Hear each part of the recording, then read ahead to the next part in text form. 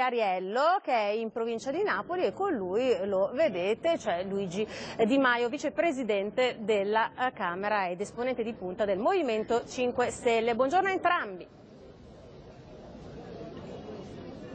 Eccoci qua. Io comincerei proprio dalle nozze cosiddette gay, le unioni civili, insomma, in Irlanda. Intanto, qual è la vostra posizione e se siamo maturi anche in Italia per fare un tipo di ragionamento su, su questo tipo di discorso? Io credo che l'Italia sia matura per fare questo ragionamento, tant'è che la Commissione Giustizia del Senato della Repubblica ha già licenziato un provvedimento sulle unioni civili.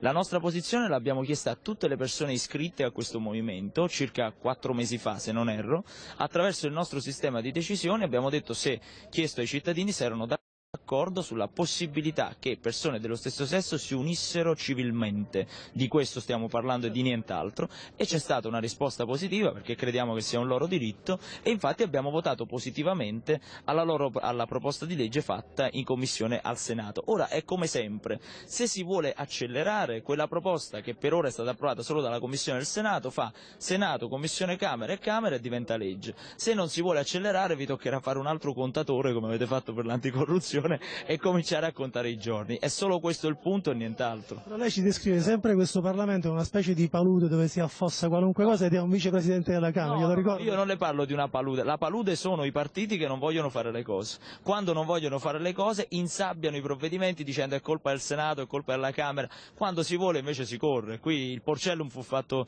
in pochissime settimane, il Lodo Alfano fu fatto in pochissime settimane, invece centinaia di giorni stiamo aspettando ancora provvedimenti importanti come il reddito di cittadinanza per i cittadini in difficoltà. E anche restituire insomma, i soldi ai pensionati, però pare che non ci siano soldi per tutti quanti, però, no? Ma questo è semplicemente un mito. Ogni anno, quando si fanno le leggi di stabilità, i partiti in, questo- in questi ultimi dieci anni hanno dovuto scegliere se prendere i soldi dalla tasca dei cittadini o prendere i soldi dai propri privilegi e hanno fatto sempre la scelta probabilmente più codarda, togliere per esempio i soldi ai pensionati facendo la legge Fornero, facendo norme come quella dichiarata incostituzionale per quanto riguarda quello che è l'adeguamento delle pensioni. Allora, noi adesso dobbiamo fare una scelta. Per esempio abbiamo 5.000 partecipate in Italia che solo di CDA ci costano 7-8 miliardi. Se noi le accorpiamo e togliamo gli amici degli amici dai CDA, troviamo soldi. Se aboliamo i vitalizi, troviamo soldi. Se cominciamo a tagliare tutte le spese della pubblica amministrazione inutile, troviamo soldi. I soldi ci sono, io li ho visti alla Ragioneria dello Stato. Il discorso è la volontà politica. I pensionati debbano riavere tutti i soldi a cui hanno diritto e soprattutto il resto dei soldi vadano messi in un reddito di cittadinanza che, ricordiamolo, porta tutte le pensioni minime da 400-500 euro a 780 euro al mese. Ecco, quella parolina magica spending review che pronunciavamo noi giornalisti sempre, fino a qualche tempo fa, adesso non la sentiamo più. Lei dice che si può tagliare ancora moltissimo? La spending review fino ad ora è stata la nomina di un commissario alla spending review che ci costava 200.000 euro in più ogni anno e nient'altro. Perché?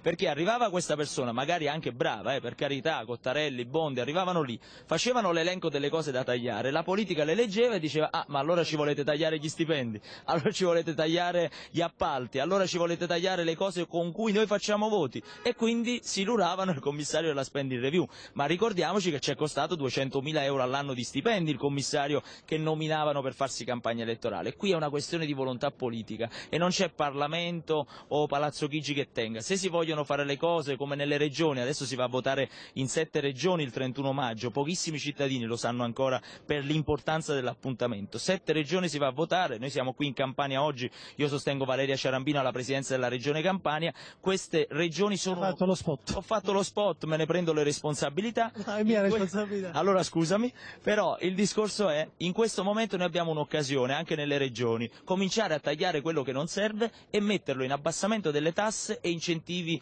alle famiglie in difficoltà con un reddito di cittadinanza regionale. Parliamo di elezioni amministrative, è la prima volta che il Movimento 5 Stelle si impegna in maniera seria, concreta anche in elezioni amministrative, è un movimento che è cresciuto tantissimo.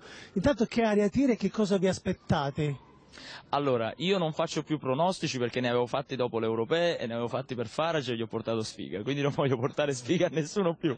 Però voglio dire una cosa importante. Eh, dopo il 2013, il 25%, tutti ci davano per morti che eravamo stati un fuoco di paglia, se si ricorda. Siamo sopravvissuti alle europee con un 20% che alcuni partiti oggi nel governo si venderebbero la madre per averlo, il 20%, adesso abbiamo le regionali dove io sto avendo un buon riscontro. Vedremo come andranno perché sono difficili, siamo in una regione in cui De Mita è tornato all'attacco nelle coalizioni del PD, siamo in una regione in cui ci sono tutti quegli enti inutili in cui molto spesso si promettono posti di lavoro, ci sono delle dinamiche difficili, però noi ci siamo, non ci siamo sottratti alla competizione per le elezioni, elezioni, però ci saremo anche dopo le elezioni. Noi non spariamo dopo le elezioni, a differenza di tanti candidati che li vedi due settimane prima e scompaiono il giorno dopo. Un'ultima cosa telegrafica, il sindacato unico che è stato invocato dal Presidente del Consiglio Renzi. Ma lui alla fine ha questa tendenza a voler accentrare i poteri sempre in mano ad una sola persona. Io non la vedo una semplificazione, non lo so che cosa volesse dire, io le sue interviste non le vedo. So solo una cosa, che sul sindacato va aperta una riflessione non per il sindacato unico, ma per tutto quello che riguarda i diritti dei lavoratori in questa regione e in questo paese. Qui siamo nella regione Campania dove c'è il problema dell'Indesit, dove c'è il problema dell'Alenia Capodichino.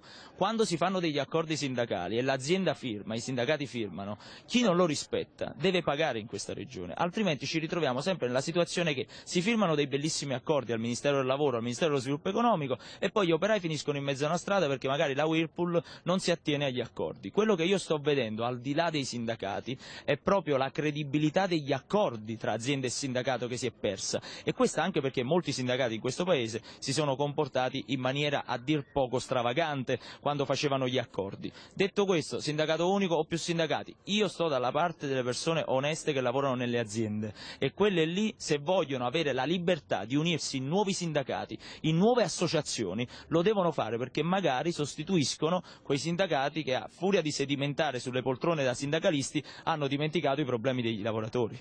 Grazie. Grazie, Mario. Paolo, Grazie. ancora una domanda, scusa, non so se Di Maio ci sente. Volevo solo chiedere qual è la situazione all'interno del Movimento 5 sì, Stelle, perché nei giorni scorsi si era parlato di uno scontro con eh, Casaleggio e di un Movimento 5 Stelle pronto a cambiare pelle.